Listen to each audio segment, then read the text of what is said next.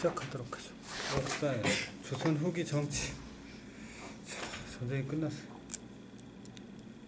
붕당 정치. 탕, 영조랑 정조는 음, 양난 후에 비변사예요. 틀린 것은 비변사 문제는 꼭 나오겠죠. 1번 그래서 왕권 강화를 뒷받침하지 못했어요.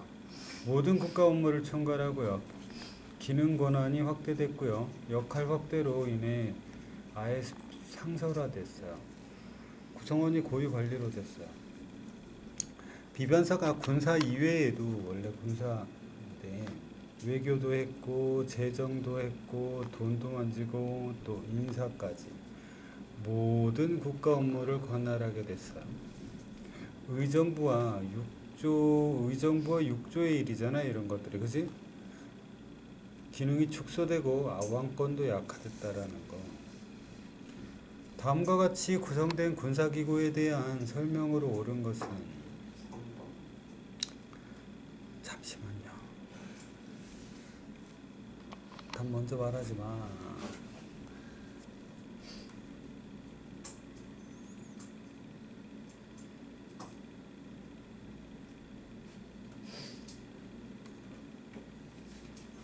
자, 음,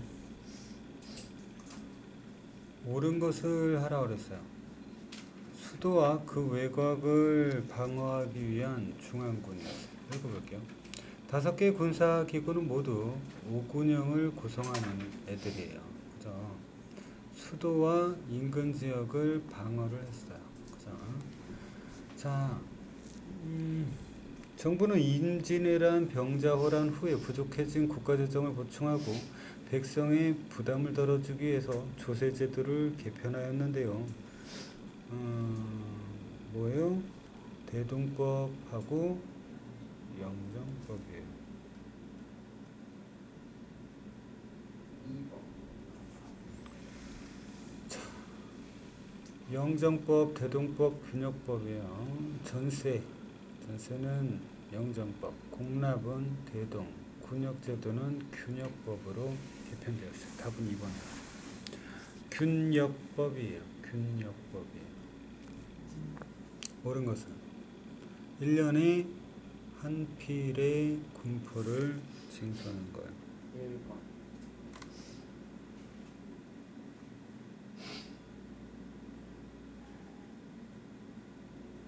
그죠?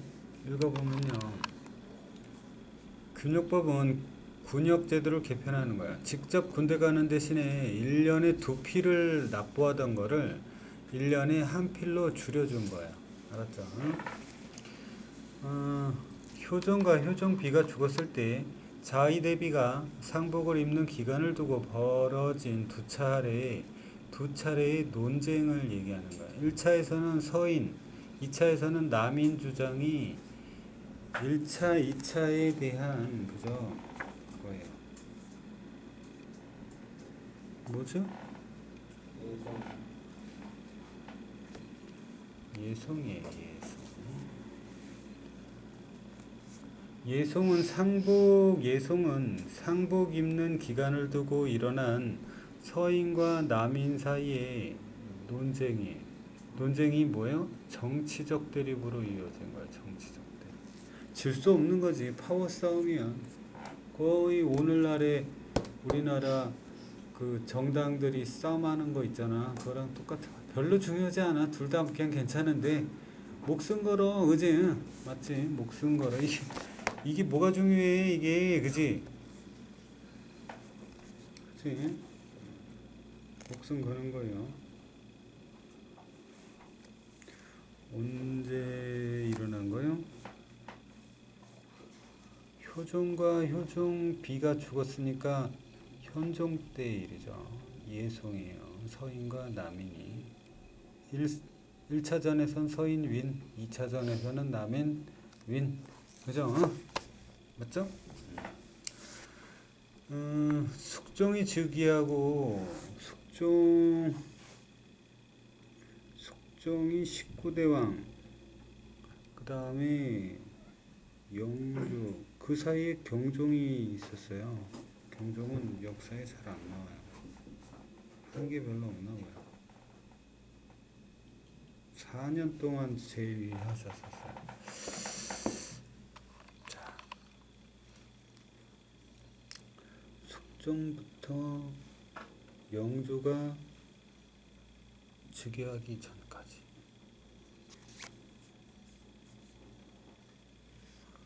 틀린 것은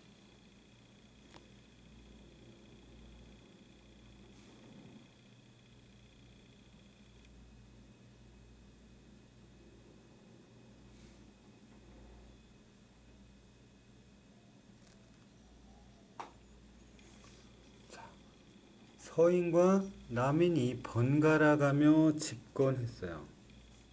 그죠? 환국이라고 그러죠. 예송이라고 했지만 요것을 보고 환국이라고 그래요.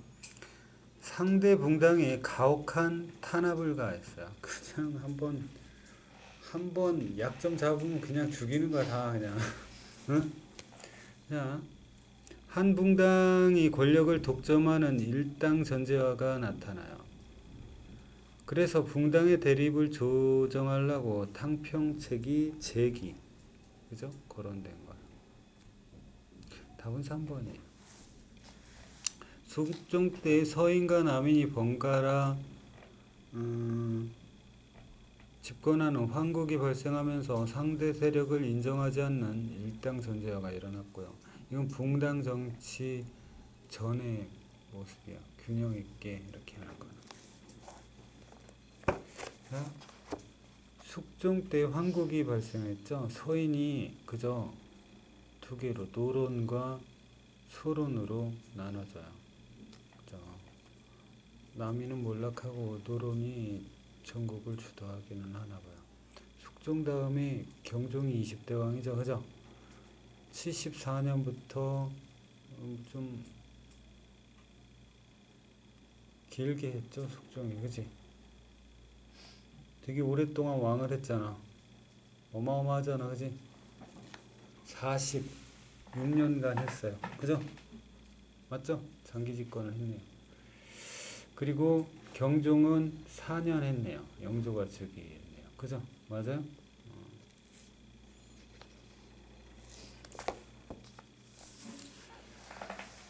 자, 영조의 개혁 정치인데요. 옳은 것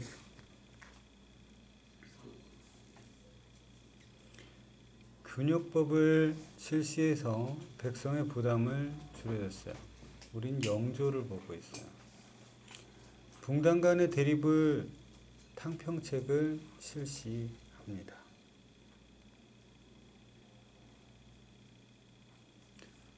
장용영하고 어, 규장각은 정조래요. 정조.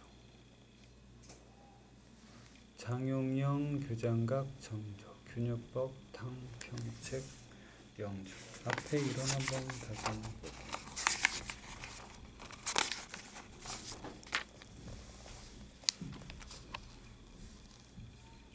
규장각, 장용영 설치. 물론 탕평책도 했지만, 자, 영조는 탕평책.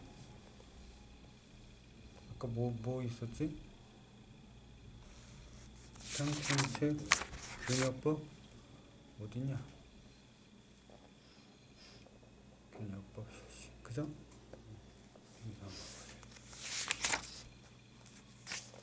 정조의 왕권 강화 정책이 아닌 것. 서원을 정해 영조래. 장용영 교장각 그죠? 젊은 학자 개혁 세력으로 육성 외척 세력 제거. 자, 서원 정리 영조. 정조는 젊은 학자, 젊은 학자들을 초계 문신으로 삼아 개혁 세력으로 육성했어요. 그 다음에 음, 음, 뭐 있었지? 조금 아까 외척 외척 어디냐?